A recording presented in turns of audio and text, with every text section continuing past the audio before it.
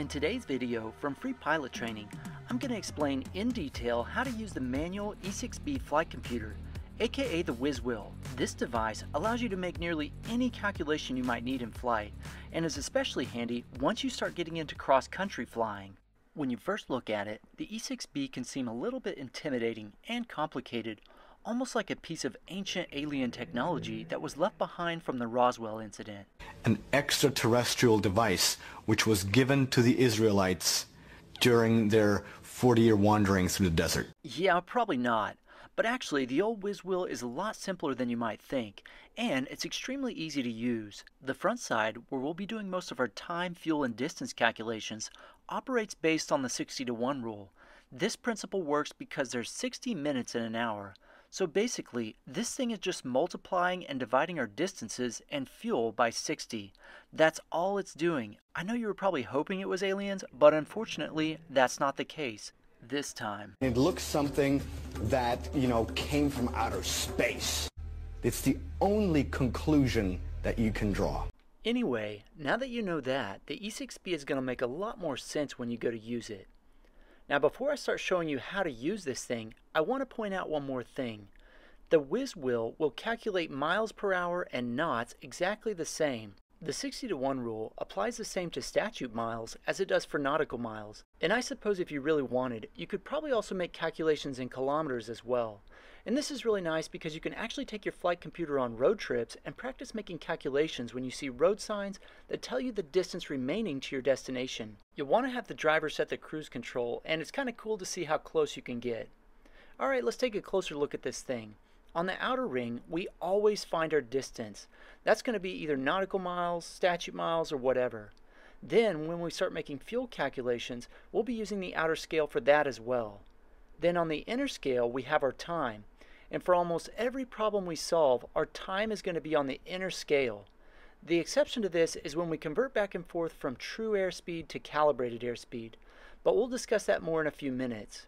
And because we find time on the inside of the scale, these numbers in here are all multipliers of 60 because we're either multiplying or dividing by 60. And by rotating the scale, that's all we're doing is creating a 60 to 1 ratio. That's it. You still think it might have been aliens? And the answer is a potential yes. Now, one other thing you need to know is that there are no single digits on these scales.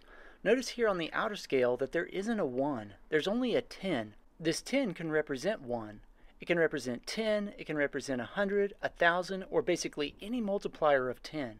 The important thing to remember is that if you turn this into a 1 by moving a decimal over, you need to do it to the number on the other side as well. For example, if my flight computer is set in this configuration and my distance is 1 mile, I'll use the 10 because there isn't a 1. Now I move the decimal over to turn this into a 1. When I look across, I read 11 minutes. But because I move the decimal to the left on this side, I also need to move the decimal over to the left on the inner scale as well.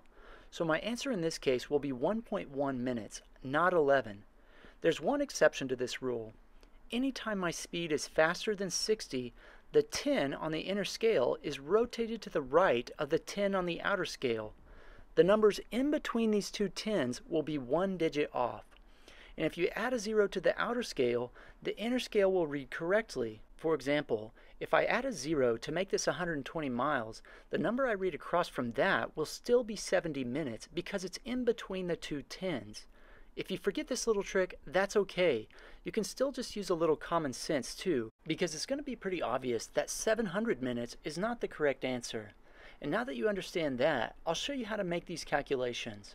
The first calculation you might want to make is to find out how fast you're going. This one's pretty simple. In order to find that, we need to know two things. First, we need to know the distance that we traveled. And we also need to know how long it took us to get there. Let's start with an easy one. Let's say we traveled two statute miles and it took us two minutes to get there. Now you probably already know the answer without using this thing, but we'll do a harder one here in a second. Start with your distance on the outer scale. If you ever forget, these WizWheels usually have markings on the outer scale to remind you that that's for distance. And we said our distance was 2 statute miles, so let's use this 2 0 because there's not a 2 on here. Then we'll find our time on the inner scale. Now the inner dial has two scales on it. On the outer part of the dial, you'll find minutes, and on the inner part of the dial, you'll find hours. So let's rotate the scale until 2 minutes lines up with 2 statute miles. Once we do that, we want to know our speed, and the way we express that is how far we went in 1 hour. 1 hour is 60 minutes, and so the 60 is typically marked with a nice big arrow and sometimes labeled with the word rate. So we will find our speed right across from that arrow. In this example, we can see that we're traveling 60 statute miles in 60 minutes, or 60 miles per hour. Very simple. Let's make it a little bit more difficult. Let's say we traveled 80 nautical miles and it took us 70 minutes to get there. Now how fast are we going? Well, let's see. Let's find our distance of 80 nautical miles in the outer scale and rotate our time of 70 minutes until it lines up with the 80. Now we want to know our speed in nautical miles per hour and one hour is 60 minutes, so we simply look across from the 60 arrow again. Let's see, here's 65, 66, 67, looks like just over 68 knots. So our speed is 68 knots. Let's try one more. Let's say we traveled 110 nautical miles and it took us 1 hour and 20 minutes. First, let's find 110 nautical miles on the outer ring. As you can see, we just add a zero and this 11 becomes 110. Now we rotate the dial until an hour and 20 minutes on the inner scale lines up with that number. And as you can see, 1 hour and 20 minutes is also 80 minutes. Then once again, we look for our rate triangle at 60 minutes, and now we can see that we're traveling just over 82 knots. Too easy. Now I want to point out something. Anytime you come up with a speed in relation to your distance over the ground, this is your ground speed. Let's back up and discuss that just for a second. There are basically four types of airspeed that you need to know about as a pilot. First is your true airspeed. Your true airspeed is basically the speed at which your aircraft is traveling through the air around you. This is not what you see on your airspeed indicator, and the reason for this is because as the air gets thinner, there are fewer air molecules that can enter your pitot system, and that air pressure entering the pitot tube is what your airspeed indicator is measuring. So as the air gets thinner, your indicated airspeed will decrease, but your true airspeed will actually increase because thinner air means there's less drag on the aircraft. Now if you remember from my previous videos, the air gets thinner or the pressure decreases anytime you increase your altitude and anytime the temperature rises. And that's because warm air is less dense than cool air. So your true airspeed is directly related to the outside air temperature and the air pressure. Indicated airspeed, on the other hand, is what you actually see on your airspeed indicator. This is not how fast you're traveling through the air around you. It's how fast your airplane thinks it's traveling through the air around you. All the airplane cares about is air molecules going through the pitot tube. It doesn't know when you're at higher altitudes and that there aren't as many air molecules up at higher altitudes. It also doesn't know when some of the air that's hitting the front of the pitot tube is wind or when it's just air from the airplane moving straight ahead. It's measuring all of the relative wind entering the pitot tube. Next, we have our calibrated airspeed. And this one's a little bit weird. It's what your indicated airspeed should be if engineers were able to create a perfect system to measure airspeed. The problem that occurs when your airplane flies through the air is that the pitch of the aircraft changes anytime you change your speed, flap configuration, and gear configuration. And because of that, the air can hit the pitot tube at different angles. So this causes errors.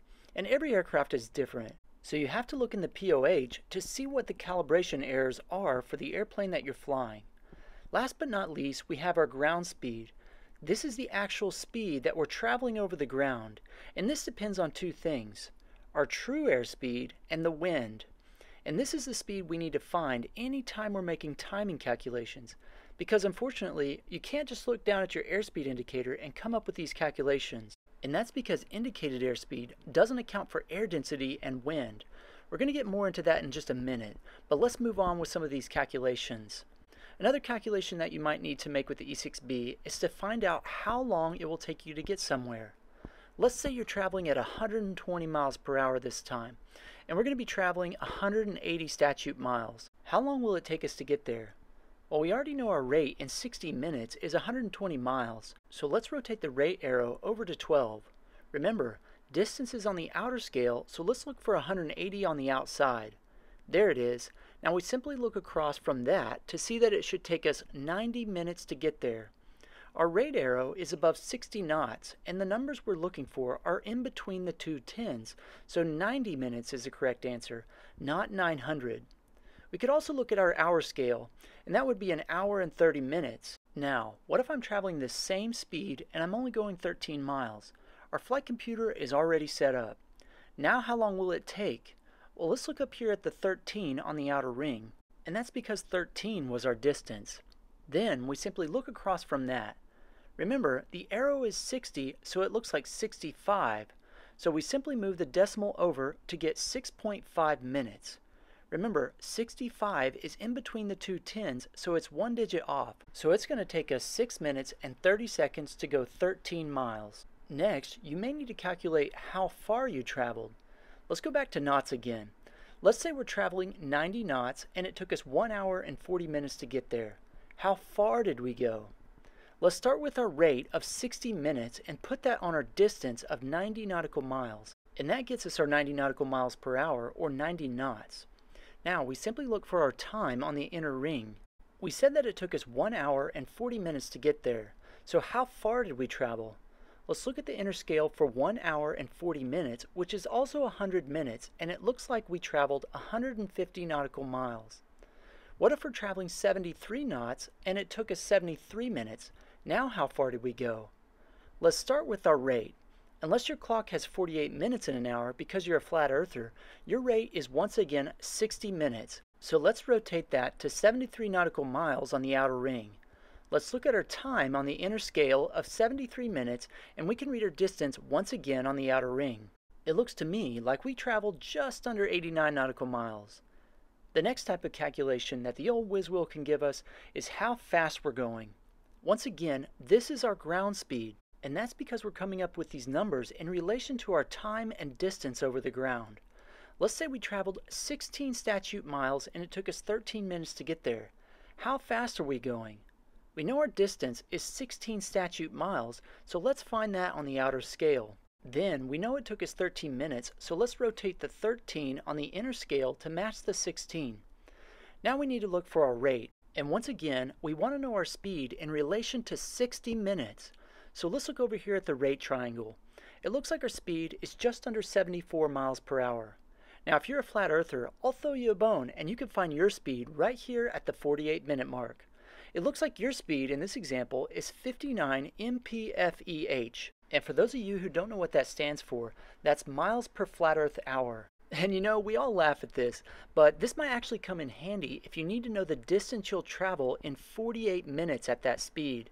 And in this case, we know it'll be 59 miles.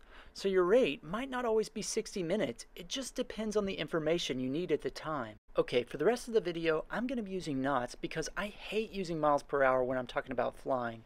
So anytime you hear me say miles for the rest of the video, you can assume I'm talking about nautical miles. I just wanted you to see that it doesn't matter what system of measurement you use, the flight computer works the same for everything. Crazy, huh?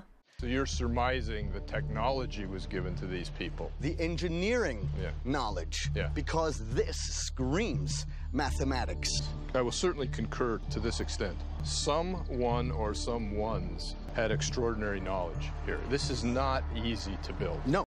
Let's do another one of these really quick. Now let's say I flew 110 miles and it took me 67 minutes to get there. Now how fast am I going? Once again, we'll start with our distance on the outer ring and rotate our 67 minute mark to line up with that. Now we find our rate triangle and read our speed right next to it. Looks like we're flying just over 98 knots ground speed. Alright, before we start talking about calculating fuel, I just want to leave you with a couple things to remember. First is that there are basically three parts to all these calculations. You have your outer ring, which is where we find our distance.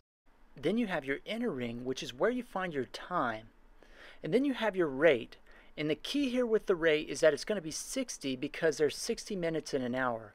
So if you want to know your speed in nautical miles per hour or regular miles per hour, this is what you want to use. Last but not least, you need to use common sense to make sure these calculations are accurate. Does the number I'm seeing make sense or do I need to add or remove a decimal? I gave you my trick with the two tens, but if that doesn't work for you, just think about the result for just a second and make sure these numbers make sense. Now let's talk about how much fuel we're going to be using. This one is really simple and it works the exact same way as the distance. Hey, we were visited by ETs. Okay, not quite. It also uses the 60 to 1 rule. But first, you need to know some basic information about your airplane before you can start making calculations with this thing. If you take a look at the performance charts for your airplane, you'll notice that for a given pressure altitude, a certain temperature, and a specific power setting, your aircraft will burn a certain rate of fuel. Let's say, for example, I'm flying at a pressure altitude of 4,000 feet at standard air temperature and I'll be using a power setting of 2,400 RPM. According to this chart, I'm going to be burning about 8.5 gallons per hour. Now someone made a very good point in the comments on my last video, and I thought I'd mention that today. As you probably know, standard air temperature is 15 degrees Celsius at the surface. And as you may remember, with a standard lapse rate of 2 degrees every 1,000 feet, technically standard temperature at 4,000 feet is no longer 15 degrees. If you do the math, you'll see that it's actually 7 degrees, so that's something to keep in mind when you're looking at these charts. I want to give a shout out to John for pointing that out to me. It's important to know where all these calculations come from because when it comes to fuel, you want to be as accurate as possible. Anyway, now that we know we're burning 8.5 gallons per hour, what if I fly for two and a half hours? How much fuel would I burn in that amount of time? This is very similar to our distance. First, we know that we're burning 8.5 gallons each hour, so let's make our rate one hour because that's 60 minutes. And we'll rotate that over to 8.5. In that case, we'll be on the 85 mark here. Then we'll look around the inner scale for a two and a half hours. Now this is where you can fall into a trap. Your first thought may be to look for a 25 on the inner scale for two and a half hours. You can't do that. These are minutes, so you either need to use the hour scale on the inside or convert to minutes and use the outer part of the inner scale. As you can see, that would be 150 minutes. So in this example, we can see that we're burning 21.1 gallons in two and a half hours. Now you probably just noticed something. My 210 trick really doesn't work for the fuel burn calculations like it does the timing and distance calculations. For this one, you just have to use a little bit of common sense and think about how much fuel you're burning per hour.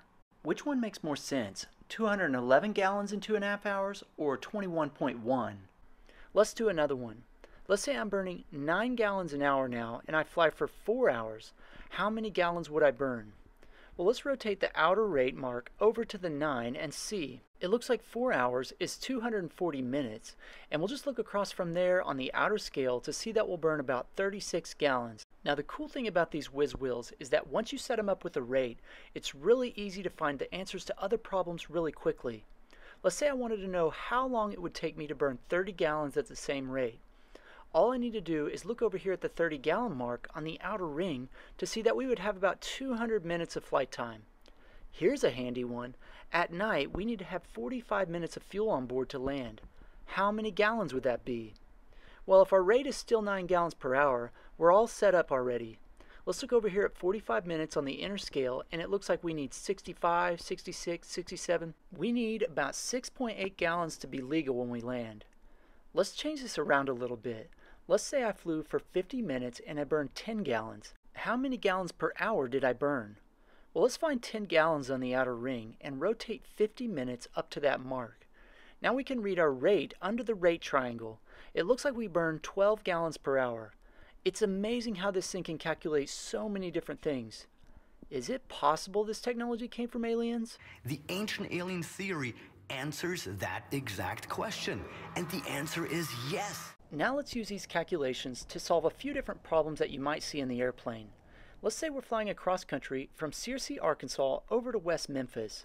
After our departure, we flew over our first waypoint at 1347 local time. Then, we flew over our second waypoint at 1358 local.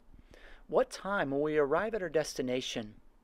Well, the first thing we need to do is to find our distance, and we can use our plotter to get that. And when I lay it on here, I'm showing the distance to be 17 nautical miles. Then from that waypoint to our destination, it looks like we have another 41 nautical miles to go. Now what we want to do is to find our ground speed. We arrived at our first waypoint at 1347 and our second waypoint at 1358. 1358 minus 1347 equals 11. It took us 11 minutes to get from our first waypoint to our second waypoint. So let's pull out our flight computer now to find our ground speed. The distance of our first leg was 17 miles, and the time it took us to get there was 11 minutes. So we'll rotate 11 minutes on the inner scale over to 17 miles. Now we simply look at our rate triangle. It looks like our ground speed is about 93 knots. Now our flight computer is already set up. All we have to do to find our estimated time of arrival is to take the remaining distance, which we said was 41 miles, and find that on the outer ring of our flight computer. Here it is down here at the bottom. So now we can see that it's going to take us 25, 26, 26.24, about 26.6 minutes. So that would be 26 minutes and 36 seconds. So we can just add that to the time at our last waypoint, which we said was 1358. So we'll reach West Memphis at 1424 and 36 seconds. Now, how much fuel will we burn from the last waypoint to our destination? Let's say we looked in the POH and it says we're going to be burning 9.5 gallons per hour. Let's rotate our rate over to 9.5 and now we're all set up. We just calculated that it's going to take us 26.6 minutes to get there. So let's look for 26.6 minutes on the inner scale. And it's super easy to find because we just found it a second ago. And it looks like we're going to be burning about 4.2 gallons of fuel. Let's do another one of these really quick. This time, let's say we're flying from West Memphis over to Carlisle Municipal Airport. As we fly over our first waypoint, we notice that the time is 1517. And when we fly over our second waypoint, the time is 1529. If our speed doesn't change, what time will we arrive at our destination? Okay, so first of all, we need to figure out how long it took us to fly this leg. If we subtract 1517 from 1529, we can see that it took us 12 minutes. Now, how far was that leg? Let's pull out our plotter and see. It looks to me like it's right at 20 miles, and from there to our destination, it's another 26 miles. So now we can find 20 miles on our flight computer and rotate 12 minutes on the inner scale over to that, and now we can find our speed across from the rate triangle. It looks to me like we're traveling exactly 100 knots. Okay, so now our flight computer is already set up. If we want to know how long it will take us to travel the last 26 miles of our trip, all we have to do is look across from the 26 mile mark on the outer ring. It looks like 15.6 minutes or 15 minutes and 36 seconds. So let's add that to the time at our last waypoint. So we'll arrive at our destination at 1544 and 36 seconds. Now let's say we're burning 8.2 gallons of fuel per hour. How much fuel will we burn in that amount of time? Well, let's move our rate over to 8.2 gallons per hour and see. Once the ratio is set up, let's look at our time of 15.6 minutes on the inner ring and move out from there to get our total gallons burned. I'm getting 2.14 gallons. Now before we move over to the wind side of the flight computer, I want to take a look at a couple more things you can do with the conversion side of the flight computer. One important thing this thing will calculate is your density altitude. This is extremely important when we're talking about aircraft performance. The higher the density altitude, the less performance you'll have, and the longer your takeoffs and landings will be. In order to find density altitude, you need to know your pressure altitude and the current temperature. Now, I've discussed in several of my videos how to find your pressure altitude, but a really quick way is to simply dial in the standard air pressure of 29.92 inches into the Kollsman window of your altimeter. And this will give you the current pressure altitude wherever you are. And as you can see here, I have 29.92 set in my altimeter, and it looks like my pressure altitude here is about 650 feet. Now let's say the temperature outside today is 20 degrees Celsius.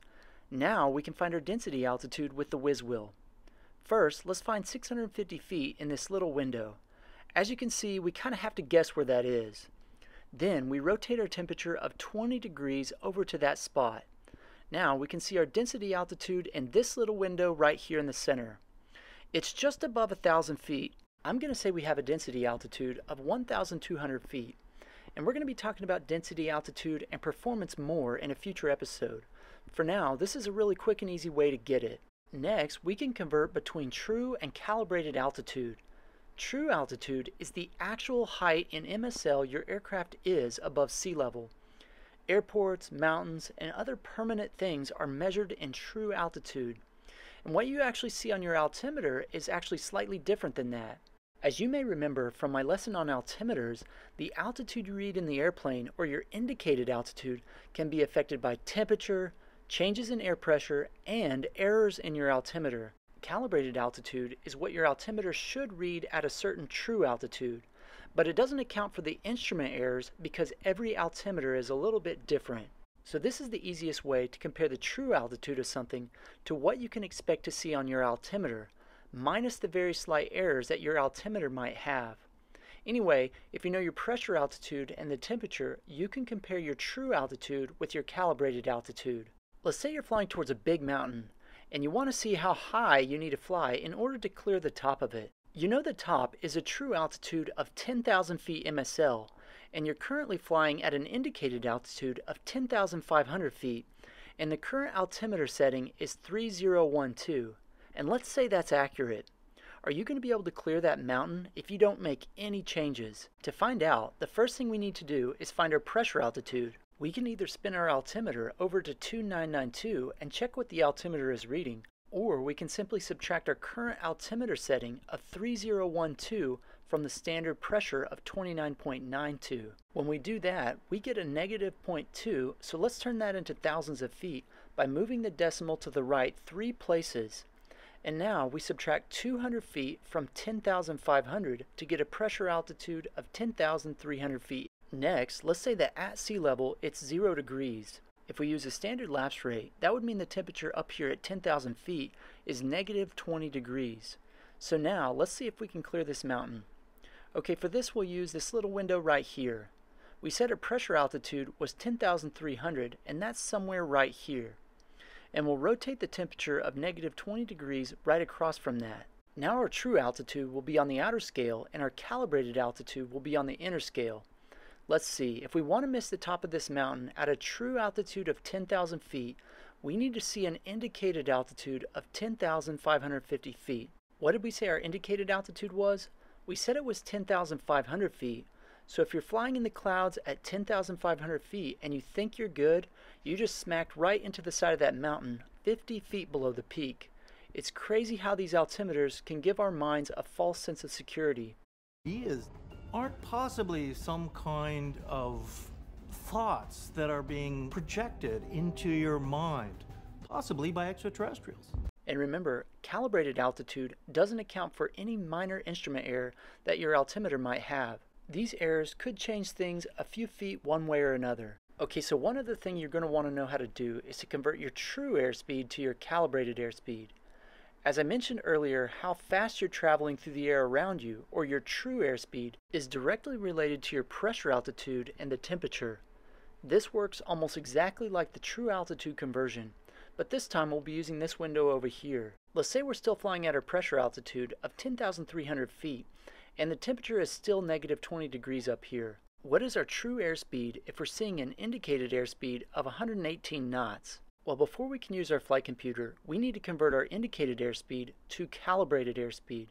And to do that, we need to dig out our airspeed calibration table from the POH. Okay, so if I'm seeing 110 knots indicated, that means my calibrated airspeed is 107 knots. And if I'm flying 120, my calibrated airspeed is 117. In both cases, I would subtract 3 knots and my airspeed of 118 knots falls in between those. So let's subtract 3 knots from 118 to get a calibrated airspeed of 115 knots. Next, let's dig out the flight computer and start with our temperature and air pressure window here. We'll find our pressure altitude of 10,300 and then we can rotate our temperature of negative 20 degrees over to that.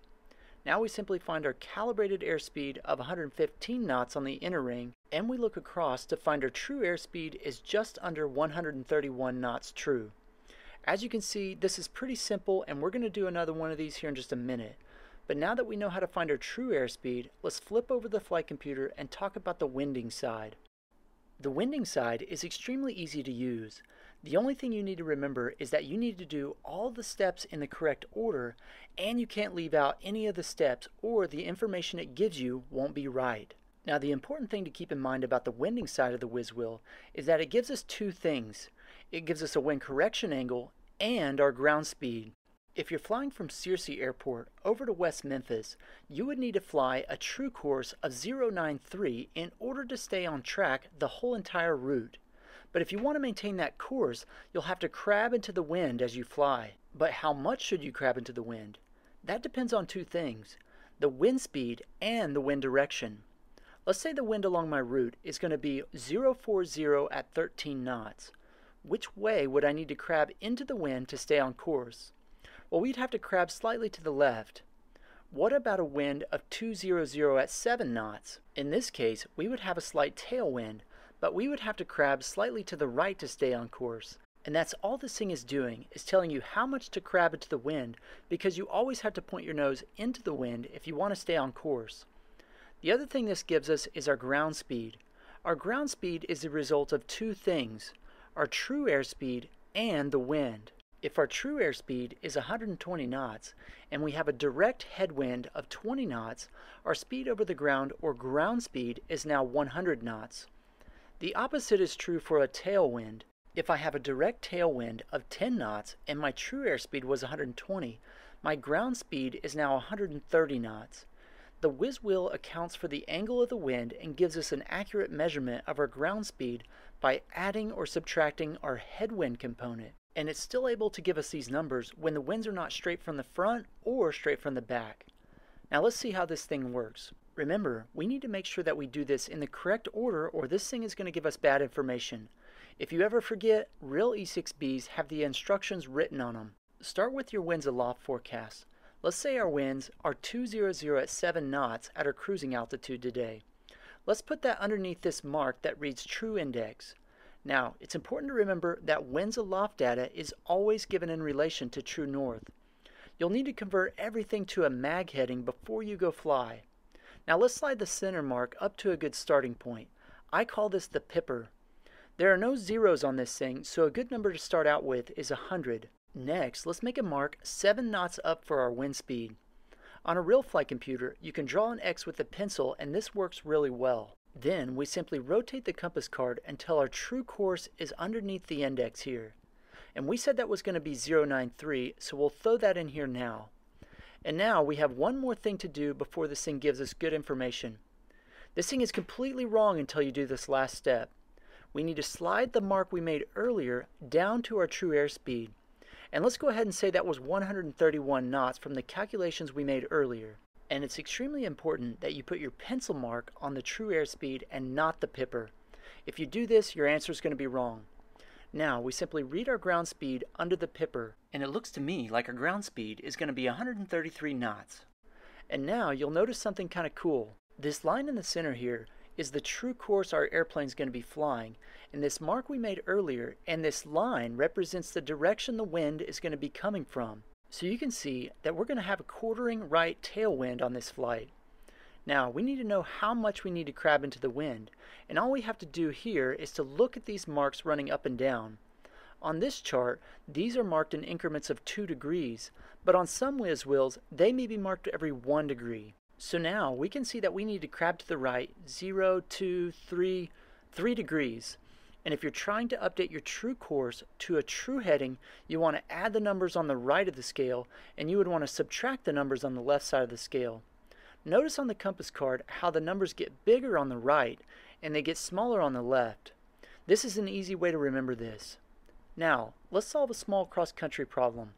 Let's say I'm flying back to Carlisle Municipal from West Memphis, and it took me 6 minutes to get to my top of climb at 4,500 feet MSL.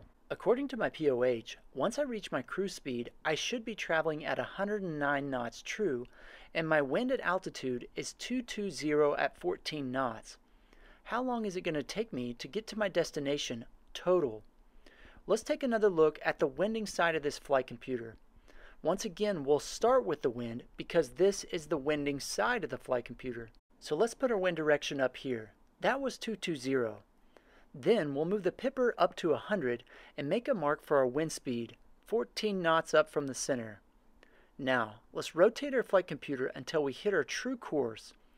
This time, our true course is going to be 256. Once that's set, we'll rotate the mark we made down to our true airspeed of 109 knots, and we can read our ground speed underneath the pipper. It looks like our ground speed is going to be 97 knots. I can see that I'm going to have a headwind coming from the front left, so I need to crab my airplane to the left to stay on course. It looks like I'll be subtracting 0 to 4 degrees from my true course to get a true heading of 252 degrees. And now, to change that over to a mag heading, I'll look down at the isogonic line on the sectional to see that I need to add 1 degree of westerly variation to fly a magnetic heading of 253. And today, I'm flying a fancy 172 SP with the G1000 in it. So there's no deviation in this plane because this guy uses magnetometers to sense the magnetic fields in this area. So I don't need to make any compass deviation corrections. So that will make my final course heading 253. And that's going to be really important for this flight. But that's not the question we are trying to find the answer to. We're trying to figure out the total time it's going to take us to get to our destination. Well, if it's 75 nautical miles to our destination, and it took us 8 miles to get to our top of climb, that means we have 67 miles to go. Let's go back to the front side of our flight computer and find our ground speed on here. We said our ground speed was 97 knots, so let's rotate the inner ring until the rate triangle lines up with 97. Now let's find our distance of 67 miles on the outer ring, and we'll read our time underneath that. It looks like it's going to take us 41.5 minutes to go those 67 miles. So what's the total time it's going to take us? Well, don't forget to add the time it took us to get to our top of climb. We said that it was going to take 6 minutes, so 41.5 plus 6 equals 47.5 minutes. So it's going to take us 47 minutes and 30 seconds total for this trip. Now what if I took off with 12 gallons of fuel in the tanks? Would I be legal to fly all the way to my destination? Now I know you're probably thinking, why would you do that? I mean, that's pretty stupid, but would I be legal? Well, according to the POH, we're going to be burning 8.5 gallons per hour with the current conditions. So let's set up our flight computer and see. I'll put 8.5 under the rate here. Then I'll look for 41.5 minutes on the inner scale. Looks like we're going to be burning about 5.9 gallons of fuel from our top of climb to our destination. Then, if we add 1.5 gallons for the fuel we'll burn during the climb, and the 1.4 gallons we'll burn for start, taxi, and takeoff, we're looking at 8.8 gallons. We took off with 12 gallons of fuel, and we're going to burn 8.8. That leaves us with 3.2 gallons of fuel. And we need to land with 30 minutes of fuel and we're burning 8.5 gallons per hour, so half of that is 4.25. So are we legal? No, we're not. But would it be legal if we put 1.05 gallons of fuel on the plane before we took off? That would make us land with exactly 4.25 gallons, so technically yes, it would be legal. But would it be smart? Hey, nudge nudge. Okay, so now let's take this a little bit farther. I went ahead and put one and a half extra gallons in my plane to be legal for this little cross country. So now, how do I know that I'm making good time and that I'm actually flying a ground speed of 97 knots? This is important to know because if our ground speed is slower than 97 knots, it's going to take me longer to get to my destination. And I can't afford to be late because I put the minimum amount of fuel in my airplane, and I'm burning 8.5 gallons per hour. Well, one way is to calculate your ground speed every time you pass over a waypoint like we've already done. But another way is to find the indicated airspeed that we should be flying and see if we're getting the indicated airspeed that we expected. To find our indicated airspeed, we need to start with our ground speed and work the winding problem backwards. We said our wind was 220 at 14 knots, so we'll put that here in our flight computer, and we'll make our mark 14 knots above the 100 for our wind speed. Then rotate the wheel back to our true course of 256. Now up until this point, everything's been the same as before, except this time we know our ground speed, but not our true airspeed. So let's put the Pipper on the ground speed of 97 knots and you'll read your true airspeed underneath the mark you made. When you work these problems, the Pipper always goes on your ground speed and the mark you make will be your true airspeed. Now we can see that our true airspeed is 109 knots. And had we written that down earlier when we did these calculations, let's say on a nav log or something, we wouldn't have had to do this again. Now, let's convert that to our indicated airspeed. Remember, the first step in doing that is to get our calibrated airspeed. So let's flip over the flight computer to get that. Let's say the temperature at altitude is 15 degrees Celsius and our pressure altitude is 4,000 feet. Once these are lined up, we simply find our true airspeed of 109 knots on the outer scale, and it looks like our calibrated airspeed is going to be 101 knots. Now, we go back to our airspeed calibration chart to see that our indicated airspeed should be roughly 3 knots faster than our calibrated airspeed. So we should be seeing 104 knots on our airspeed indicator when we fly this cross country. If our speed's faster, that means we'll get there sooner. If our speed is slower, then this is going to affect our ground speed, and now I'm starting to get worried about fuel because I took the bare minimum because I'm a nincompoop. Now, I know this all seems kind of complicated, but here are some big takeaways when it comes to getting airspeed information that's actually useful for flight. The two airspeeds that you need to use in flight are your ground speed and your indicated airspeed. True airspeed and calibrated airspeed are important, but you won't know what these are unless you calculate them or you have a fancy airplane that calculates them for you. So if you want to know the ground speed you're getting, you have to work backwards from your indicated airspeed to your calibrated airspeed to your true airspeed to get your ground speed. If you know your ground speed, but you want to find your indicated airspeed, you need to work these in the opposite direction to figure that out. And by keeping that in mind and working through these problems methodically, that will make it easier to solve them. Okay, now I want to show you how to do one more thing with the whiz wheel because it might come in handy on your written exam. And that's how to calculate the actual wind you're getting up at altitude. Let's say you're flying a ground track or a true course of 256, but in order to stay on course, you have to fly a magnetic heading of 264. Your ground speed is 135 knots and your true airspeed is 123 knots. What are my actual winds? To solve this problem, we first need to find our true heading. In this area, our variation is 1 degree west. Now normally, west is best so you would add 1 degree to get your magnetic heading. But when you're working backwards like this, you would do the opposite. So we would subtract 1 degree to give us a true heading of 263. Now, let's find our wind correction angle. Our true heading is 263. Now we need to subtract our true course of 256 from that to give us a wind correction angle of 7 degrees. And since this number is positive, that means it's 7 degrees to the right. Now, let's subtract our true airspeed from our ground speed. 135 minus 123 equals 12. Now let's pull out the whiz wheel.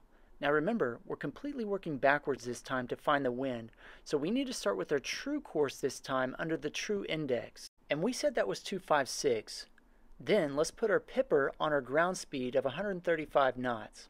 Remember, no matter what, the pipper always goes on your ground speed. Now, we need to find where our wind correction angle of 7 degrees to the right and our true airspeed of 123 knots intersect, and put our mark right there. Once we do that, we simply rotate our mark until it's centered on our true course line. And to make it easier to read, you can slide the pipper down to the 100 mark if you want. Then you can read your wind direction under the true index. Looks like our winds are 027 degrees and the speed of the wind is exactly 20 knots. So winds at altitude are 027 at 20 knots. Pretty amazing, right? And now you know how to use the old whiz wheel. And as you can see, it's a powerful little tool that you can use on your cross-country flights when you're concerned about time, fuel, and distance. And now that you've wasted your time learning about alien technology, in my next video, I'm going to explain why you actually don't need one of these things. You can do all these calculations without an E6B, and in a lot of cases, it'll actually be faster and more accurate to do so. When that video is available, I'll put it right here. Smash like before you watch the next one, and I'll see you over there. See ya! Calling. Position.